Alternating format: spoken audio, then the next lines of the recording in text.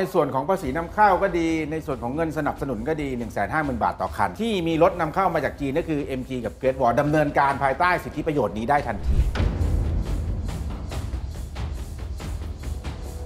แต่ไอ้ขยักของภาษีสรรพสามิตเนี่ยครับจาก 8 เหลือ 2 เนี่ย ช้าฮะใช้คำว่าช้าเลยครับใช่คือไอ้เรื่องส่วนลดอะไรต่างๆนะคุณผู้ชมเราพูดกันมานะส่วนลด EV บอกให้รอให้ซื้อเนี่ยตั้งแต่ปลายปี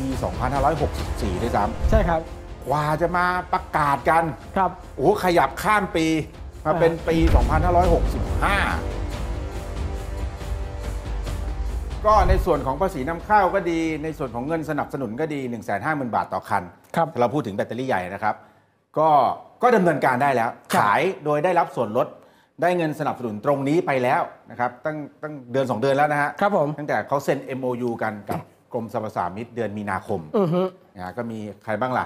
MG Great Wall นั่นแหละครับมี t o y ยต้เซ็น MOU มาทีหลังด้วยแต่ t o y ยต้ยังไม่มีรถไงใช่นะฮะเอาเป็นว่าสองค่ายหลัก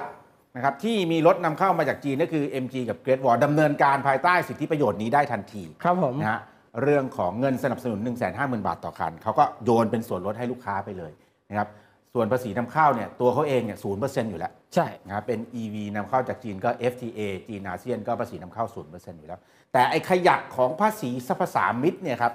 จาก 8 เหลือ 2 เนี่ย ช้าฮะใช้คำว่าช้าเลยครับใช่คือไอ้เรื่องส่วนลดอะไรต่างๆนะคุณผู้ชมเราพูดกันมานะส่วนลด EV บอกให้รอให้ซื้อเนี่ยตั้งแต่ปลายปี 2564 ด้วยซ้ใช่ครับำกว่าจะมาประกาศกันครับโอ้โหขยับข้ามปี มาเป็นปี 2565 ใช่เดือนอะไรนะกุมภาด้วยซ้ำป่ะอ่าประมาณกุมภากุมภาที่เริ่มเข้ากุมภาคอรมอเออแล้วมีนาถึงจะมีความชัดเจนว่าจะให้อะไรบ้าง 1 2 3 แล้วคก็รับเซ็น MOU กัน แต่ทุกอย่างรู้กันหมดแล้ว แต่จะมีผลบังคับใช้เต็มๆ ก็ต้องรอประกาศเป็นกฎกระทรวงออกมาครับรอเว็บไซต์ราชกิจจานุเบกษาเผยแพร่กฎกระทรวงออกมาอือฮึนะครับอะในส่วนของภาษีนำเข้า0%ได้ไปเงินสนับสนุนเงินสนับสนุน1 5 0 0 0ครับ 1 5 0 0 0 0 บาทก็ได้ไป แต่เนี่ยครับไอ้ก้อนของภาษีสรรพสามิตจาก 8 เหลือ2เนี่ยพิเศษเนี่ยนะครับเพิ่งประกาศเมื่อวันที่ 8 มิถุนายนที่ผ่านมาช่วงใช่เย็นครับช่วงหัวค่ำนะฮะก็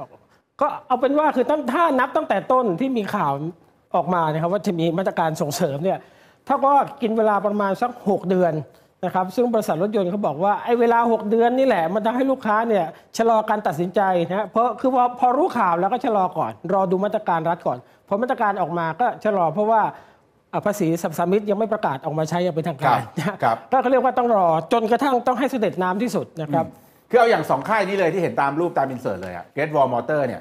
ประกาศราคาตัว Ora Good Cat มาเนี่ยครับนะฮะประกาศราคาที่ได้รับ เงินสนับสนุนจากรัฐบาล 1 5 0 0 0 0 บาทครับนะฮะแต่ยังไม่รวมตัวก้อนภาษีสรรพสามิตใช่ ใครอยากซื้อให้ไปซื้อก้อนที่ได้รับเงินสนับสนุน 1 5 0 0 0 0 บาทเท่านั้น อือฮึ แต่ถ้าอยากได้ก้อนของภาษีสรรพสามิตจาก 8 หรือ2%เนี่ยน่าจะลดคันหนึ่งประมาณ 70,000 บาท อะไรอย่างงี้ก็ได้นะครับ70,000 80,000 เลยนะพี่อ้วนน่าจะถ้าลดได้ราคาเลสเซประมาณล้านหนึ่งแล้วกันนะครับเฉลี่ยเพราะว่าใครจะรอก้อนของภาษีสรรพสามิตเนี่ยที่จะได้อีก 70,000 80,000 บาทเนี่ยก็ต้องรอไป ครับ แต่ก็อะก็เพิ่งมาประกาศ เมื่อเมื่อวันที่ 8 มิถุนายนที่ผ่านมา ขณะที่ MG ครับ เขาประกาศราคาของของ EV ของเขาทั้ง MG EP แล้วก็ MG ZS EV เนี่ยรวมทั้งเงินสนับสนุน 150,000 บาท แล้วก็คิดมาให้เรียบร้อยแล้วว่าภาษีสรรพสามิตต่อคันเนี่ยจากครับรัฐบาลเนี่ยจาก8เหลือ2เนี่ยจะได้เท่าไหร่ครับผมเขาประกาศราคาประกาศราคาขายออกมาเลยครับ อย่าง MG ZS EV นะฮะลดครับสูงสุด ก็ 2 4 0 0 0 0 6,000 6,000 บาท ครับผม246 นะฮะ อืมจากลดราคาล้านนิด ๆ นะครับ ครับผม ก็อันนี้แหละมันก็เลยกลายเป็นปัญหาหมายความว่าปัญหากับลูกค้านะครับ เพราะว่าที่ผ่านมาลูกค้า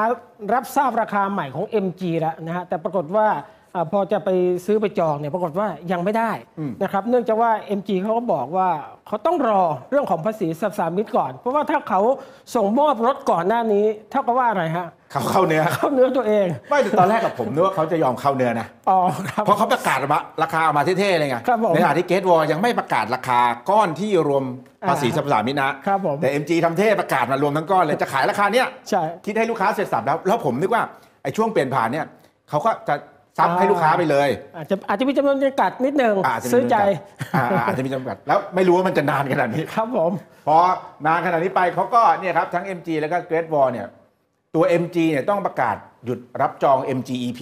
ใช่ MGEP เนี่ยด้วยราคาขายที่ถูกกว่าครับนะราคา 8 0 0แสนกว่าบาทอะไรอย่างนี้ครับทำให้ตัวตัว Excise Tax ที่มันลดลงมาภาษีสรรพสามิตลดลงมาก็น้อยกว่าตัว MG ZS EV ครับผมนะ ZS EV มัน 246 ตัว EP เท่าไหร่ฮะสองแสนสองหมื่นเจ็ดพันสองแสนสองอ่า200,000ก็เนี่ยครับเห็นชัดเจนเลยว่าตัวราคาตั้งราคาขายภาษีสรรพสามิตมีผลต่อราคาทั้งสิ้นนะครับ ก็คือ MG ต้องหยุดรับจอง MG EP ไปครับ ส่วนหนึ่งก็เพราะว่าเขาจะเตรียมเปิดตัวรุ่น minor change อือฮึช่วงเนี่ยไตรมาส3ช่วงปลายปีนี้ด้วยซ้ำครับนะก็ก็หยุดรับจองเคลียร์สต็อกไว้ก่อนเพราะตัว MGEP เนี่ย ยอดจองมาเท่าไหร่พี่อ้วน 4,000 คันแบ็กออเดอร์ขออภัย ใช่ค้างส่งมอบอยู่ 4,000 คัน ครับผม ตัว MG ZSEV ยังรับจองอยู่นะฮะ แต่มีอ่าฮะยอดค้างส่งมอบอยู่ 2,000 กว่าคันนะครับ ใช่ครับผมก็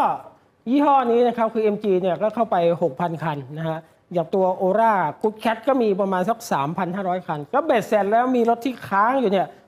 ประมาณ 10,000 คัน ประมาณ 10,000 คัน รวมถ้าค่ายอื่นด้วยนะ อ่าผมครับว่าถ้าผม รวม BM ใช่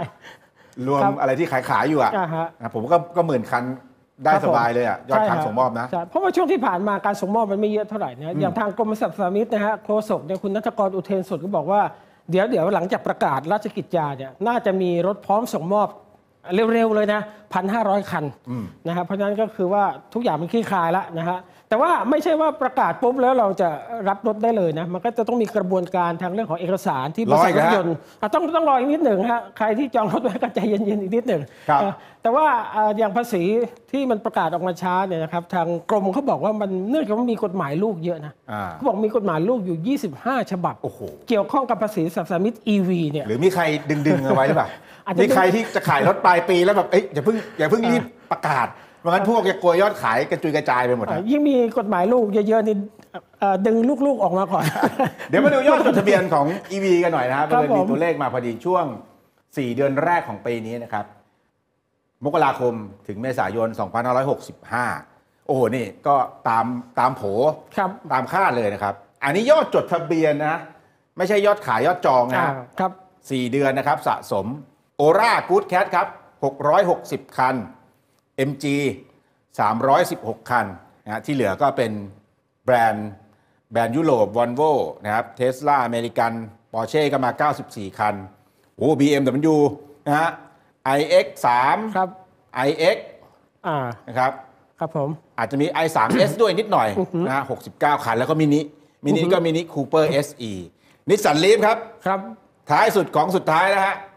ก็ยังมียอดอยู่นะ ยังมีอยู่แต่แต่เพราะว่ามีอีกอะเดี๋ยวมันก็มีกระปิดกระปอยอีกเดือนละคันสองคันนะคครัรับผมก็มาอีก 17 คันแล้วก็อาดีนี่ก็ใช้เล่นนะครับ ตัวอีตอนของเขา 14 คันครับ นะฮะก็เป็นไงฮะยอดจดทะเบียนปีนี้พี่อ้วนแล้วปีนี้เขาจะหวังยอดขายกันถึงเป็นหมื่นคันเหรอยอดจดทะเบียนมีเท่านี้เองนะ ก็ยังมีเวลานะครับคือถ้าเนี้ยถ้าเรารวมกันอันนี้ก็คือพันกว่าคันแล้วนะครับ คือถ้าพันกว่าคันเนี่ยมันก็เท่ากับปีที่แล้วทั้งปีแล้วล่ะปีที่แล้วมันจดทะเบียน 1,935 คันครับ นะเอนี่4เดือนก็ใกล้เคียง เพราะฉะนั้นเวลาที่เหลือเนี่ยโตแล้วน่าจะโตกว่ได้อยู่ครับนะผม อะพูดถึงเรื่องของภาษี EV แล้วนะครับ เป็นภาษีเขาเรียกว่าช่วง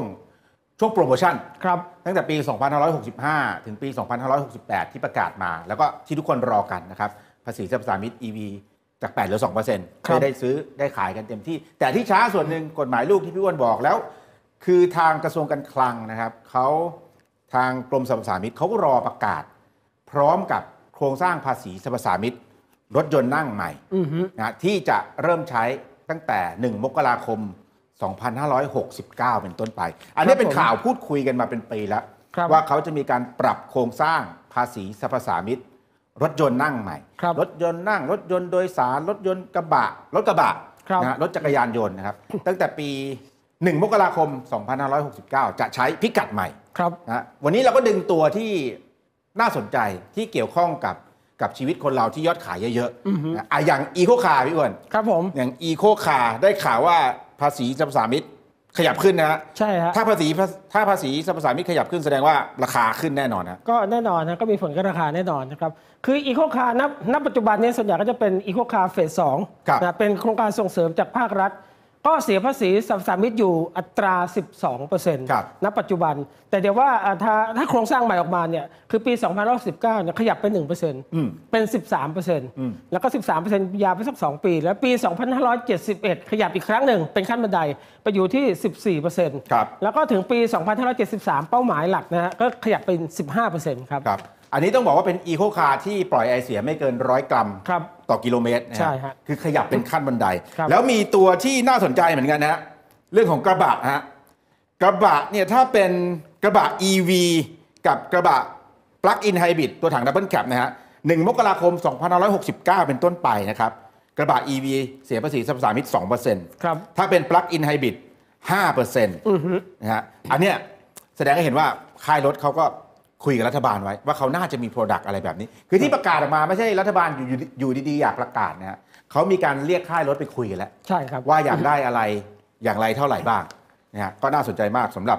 เอ่อภาษีสรรพสามิตใหม่